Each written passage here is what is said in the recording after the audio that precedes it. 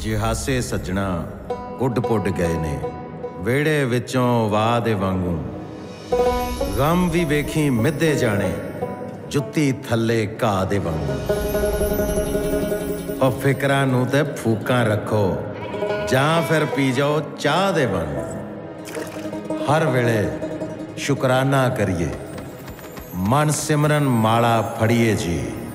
ਆਓ ਇੱਕ ਅਰਦਾਸ ਆਪਾਂ ਸਰਬਤ ਦੇ ਭਲੇ ਦੀ ਕਰੀਏ ਜੀ। ਅਰਦਾਸ ਕਰੋ ਸਰਬਤ ਦੇ ਭਲੇ ਦੀ, ਅਰਦਾਸ ਕਰੋ ਸਰਬਤ ਦੇ ਭਲੇ ਦੀ।